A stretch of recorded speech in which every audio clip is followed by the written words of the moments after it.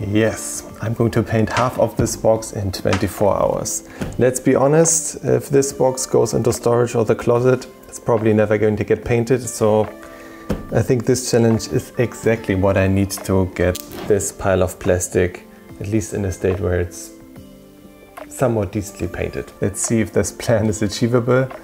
Hi, my name is Toby, and this is Paint Quest. Okay, I've spent the last couple of days just planning this.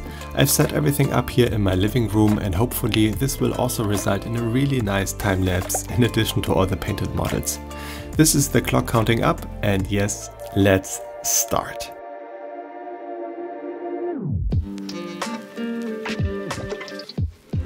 Alright, so I removed the mold lines from the first Gaunt and that took me about 12 minutes. I have 480 minutes, uh, that 8 hours means I'm going to remove the mold lines from 40 models. It's not enough. I still have to glue this thing, put it on a base, base this, and I actually also wanted to prime the models today. Okay, I have to, I have to get faster. Let's talk more work. Okay, while I start cleaning up the models, let me introduce you to my game plan for this massive undertaking. I'll split the 24 hours in three phases of 8 hours each. My expectations for the first phase are building up all the models and basing them. Should there be spare time left, I'll prime the miniatures as well. But I have the feeling it's going to be close, so it might not come to that. Phase 2 will include batch painting all the base colors on the carapace and the body of the miniatures. If there's spare time left, I'll dry brush the base as well and get that sorted out. That should already give a nice feeling of accomplishment having paint on all the models. Phase 3 will be for details and highlights on all the parts of the miniatures and maybe some extra time for the character models, which will basically lead the army. I have split these sessions over 3 days due to personal scheduling and 3 days will be at least fast enough for my first Warhammer 40,000 game next week. So there's no rush to crank this through in one go. Also, it's probably better for my mental health, getting enough sleep and maintaining a healthy relationship with the hobby in general.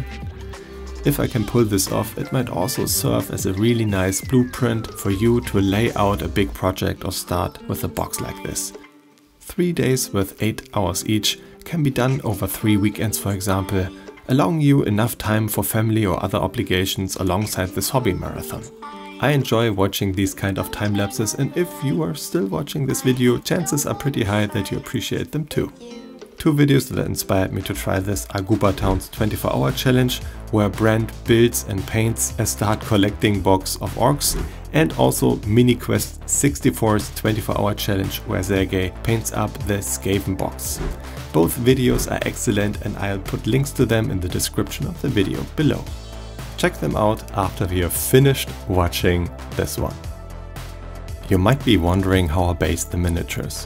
When I was planning the mega project I searched for Coral STL files that I could use for basing. Nothing screams alien infested landscape more than colorful corals. My friend Sergey from MiniQuest 64 was kind enough to 3D print a large number of them for this massive undertaking, because I don't own a 3D printer myself. I want to make the most of the texture already provided with the base, so instead of gluing sand all over the base and covering it up, I'll glue some of the alien plants onto it and add just a few grains of sand here and there representing larger rocks on the ground. To finish up the base I'll blend the glued bits with the texture already given on the plastic base with Armageddon dust. Okay, end of phase one, eight hours. I did manage to build everything and actually base everything. I actually also wanted to prime those, but yeah, in the last, I don't know, 20 minutes, I think it's not possible, but I'm yeah, going to do that in the next phase. So I'm super happy. I'm super happy. I'm completely exhausted. Can't think straight, but I did manage to build everything and also to include nice basing here. So I'm happy. It's the beginning of the second day Again for today, eight hours. The second phase is going to be laying all uh, the base colors on the miniatures. First of all, we're going to prime these miniatures with an airbrush. Could also be done with a rattle can. I'm going to do this because it's currently quite rainy and thunderstormy here in Germany. Concerning the paint scheme and everything I have planned, I'm going to hand that over to Toby in the future, which is going to explain what's the plan here, how the color scheme is going to look like, and take it away, Toby. Yes, thanks Toby from the past, that's exactly what I'll do. As mentioned before, I prime the miniatures black. I use the black primer for better paint adhesion of the next layers and to create dark shadows in the deepest recesses. Oh, and a big oops during priming, I accidentally spilled the cup from the airbrush and it took me about 15 to 20 minutes to clean up the mess. This incident serves as a reminder of why using a rattle can can sometimes be a more convenient option. Okay, so we are 2 hours and 26 minutes in. All the miniatures finally got primed, no other accidents. Yeah, I hope the next layer is going to be way uh, faster. Uh, when everything gets a zenithal with Vallejo buff, a little bit more than a zenithal, so we do need to cover pretty much everything except these really interior crevices all these Tyranids have from below. The next layer is just going to be like a, around one hour. Uh, yeah, let's see how far we come. I want to have at least four hours left for brushwork today, so I better get started. I'm already exhausted. okay. The first miniatures are already dry and ready for the second color, which is Vallejo Buff. This creamy color will be perfect to start the color scheme I'll explain later.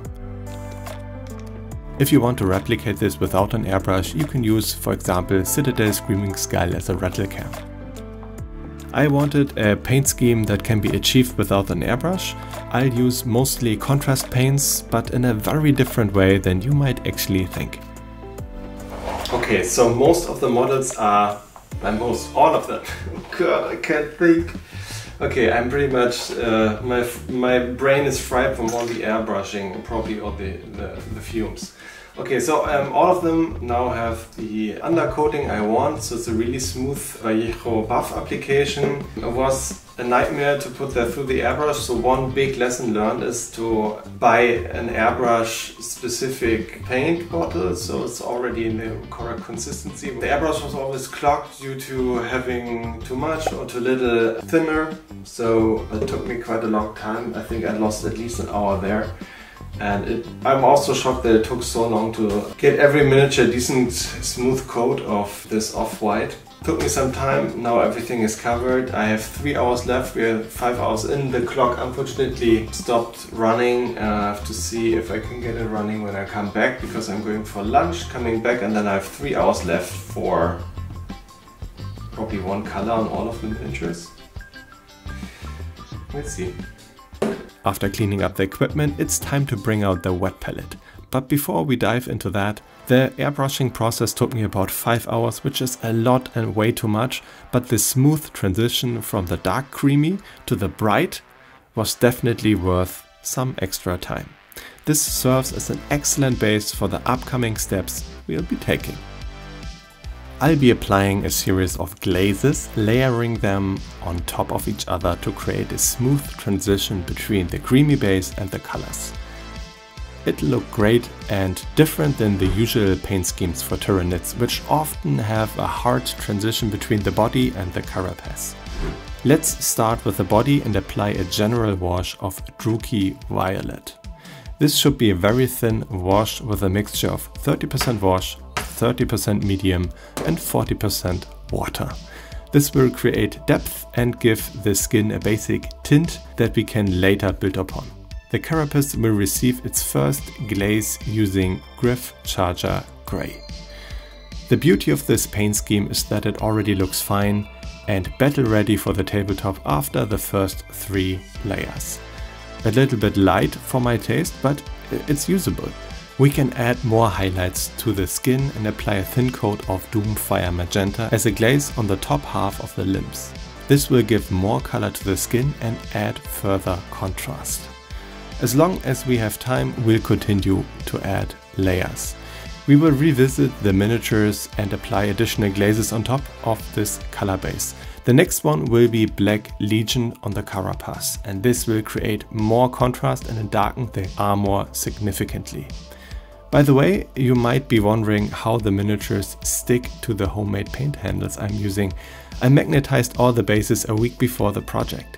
This makes handling the miniatures much easier. It's pretty much the first thing I do when I start a project. It helps with painting and it's super convenient for transporting the models later on. And this is the result of today's work. I'm really pleased with the color transition from the dark red to the creamy white skin color, but there's still a lot more work to do to complete the color scheme. More on that in the next phase. Okay, so the last phase of this project. I'm super excited how much I'm going to get done today. A little change of plans from the very beginning of the video where I explained all the phases, what I'm going to do. I'm going to try to paint all of them, of course, but I'm going to focus on the Combat Patrol, which is a subset of these miniatures, because I need the Combat Patrol for the first Warhammer 40,000 game I'm going to play in a couple of days. So I'm going to focus on this big bug over here, the Von Ryan's Leapers, the Alpha Warrior. I'm trying to get those guns done over here, which is only seven more models and then those four barb guns. And I think I should fairly quickly get them on the same standard as the already painted guns, which are looking fine, I think. And then when these are done, I'm going to focus on the other models and then more highlights on top before I paint the bases. Let's go! In the days and weeks following the completion of the miniatures, I can always revisit them and add more highlights to the character models or even the base troops like these Termagants. Today my first task is to finish the Termagant unit, however once that's done I'll revisit all of them and give the somewhat dull looking flash guns a touch of color. I'm a bit afraid of spending too much time on this step, but I believe it's worth it. I'll glaze the Imperial Fist yellow on the upper left corner and the tip of the guns. Then I'll come back with Doomfire Magenta and apply a glaze to the smaller portion of these areas. The result will be a fiery red color gradient making the weapons much more interesting. We'll use this effect on the other miniatures as well, so stay tuned to see the final outcome. By the way, do you have any good suggestions for a name for this swarm scheme? Maybe Swarm Fleet to Tobiathan? No, that'll be ridiculous. Maybe you have a decent idea, let me know in the comments. Let's pause for a moment to truly appreciate these incredible models. They have quickly become my absolute favorites from the box. Whenever I gaze upon them I can't help but to imagine a playful, flippery sound they might make. Even though they may not excel in the actual game, I can't resist the idea of adding more to my collection. Just envision a tabletop filled with a swarm of these delightful little dolphin dudes. It would be a sight to behold. The termagants are done and it feels awesome. Now it's time to move on to the next big unit I need to paint, which are the Barbgaunts. I'll follow the same process as with the other miniatures. First, a simple base wash, then followed by applying Gryph-Charger Grey on the armor. The most time consuming step is the glazing of the Doomfire Magenta on the limbs and the other body parts. But this gradient effect will make the miniatures truly stand out on the tabletop, so it's definitely worth it. One trick I use is to apply more contrast paint on the top for example, the big gun here and then use a damp brush to feather the color out and creating a nice and smooth gradient. This technique works particularly well on the organic bodies of the Tyranids. The last step involves using Black Legion on the carapace to darken the armor and applying yellow on the special parts of the miniatures, such as the space slug up here. I will then revisit it with magenta to make it pop even more. It's a good practice to write down all the steps and recipes for the color scheme before starting a project like this. This was really helpful especially when working under time pressure to avoid forgetting any steps while batch painting. If you think I have earned a thumbs up, it would be great if you could show your support by giving it a like. This will let me and YouTube know that you enjoyed the content and would like to see more. Time is running out, which means it's time to paint the bases. For this I'll once again use contrast paints. First I'll apply a basic tint using Skeleton Horde on all the miniature's bases. I focus on the sandy parts where I would imagine it to be more in a brown or darkish tone. To make the bases more visually appealing, I'll add light splashes of Aeldari Emerald as well, but this paint is very potent, so it needs to be diluted and feathered out with plenty of water to achieve the desired effect. After finishing the bases, it's time to paint the base rims with Abaddon Black. What's happening? Why am I still working on the model even though the time is up? Well, I'm currently giving the bases another thin coat of black paint for a smoother finish and I borrowed a bit of time from the first day where I ended with a buffer of about 15 minutes of the day left.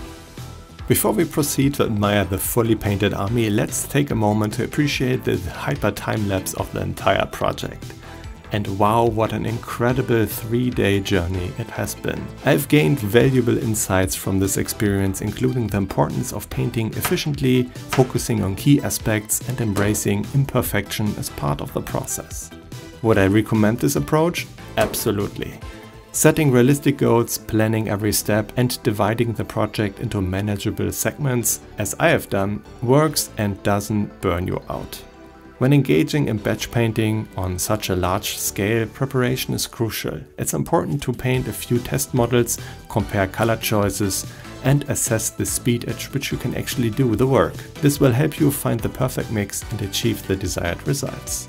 These three models here were the test subjects for the paint scheme I was targeting.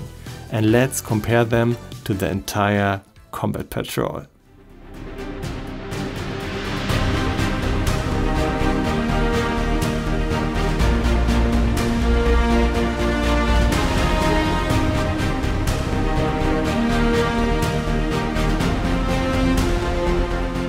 And here we are, the entire army painted up and ready to feast on the galaxy. I will finish the models to perfection in the next days and post pictures of them on Instagram. So if you're interested, a link to my Instagram page is in the section below. You might be curious about what will happen next with the remaining miniatures in that box. I initially thought about selling them, but no no no, they will all be converted into something special. More information will be available soon on this channel. If you enjoyed this video, I have more fun stuff on this channel right here. Thanks for watching and see you in the next one. Bye bye.